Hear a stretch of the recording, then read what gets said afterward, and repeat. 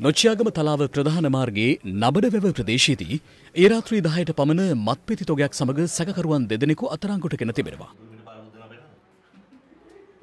සැකකරුවන් සතුව තිබී මත්පෙති 380ක් සොයාගත් බවයි තලාව පොලිසිය පැවසුවේ. ට්‍රැමඩෝල් නැමැති ඖෂධ නාමයෙන් හඳුන්වන මෙම පෙති පාසල් සිසුන් අතර ජනප්‍රිය වී ඇත්තේ ඇපල් පෙති යන අන්වර්ථ නාමයෙන්. අතරංගුටගත් ප්‍රධාන සැකරු පවසා ඇති පාසල් සිසුන්ට විකිනීම සඳහා මෙම මත්පෙති රැගෙනයමින් තිබූ බවයි. මෙම මත්පෙති රුපියල් සියයකට මිලදීගෙන රුපියල් පන්සියයකට පාසල් සිසුන්ට අලවි කරන බවයි ප්‍රධාන සැකරු පොලිසිට පවසා ඇත්ති.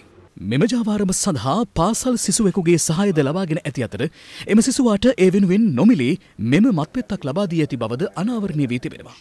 අතරංගුඩගත් ප්‍රධාන සැකරු තලාව කොටවැව ප්‍රදේශී පදිංචි විසිදි හැවිරිදි තරුණෙක්. අතරංගුඩගත් අනෙක් පුද්ගලයා තලාව මේරිගම ප්‍රදේශී පදිංචි විසි පස් හැවිරිදි අයෙක්. අතරංගුඩගත් සැකරුවන් දෙදෙනා අද තමුත්තේගම මහිස්ත්‍රාත්වරයා හමුවට ඉදිරිපත් කිරීමට නීමිතයි.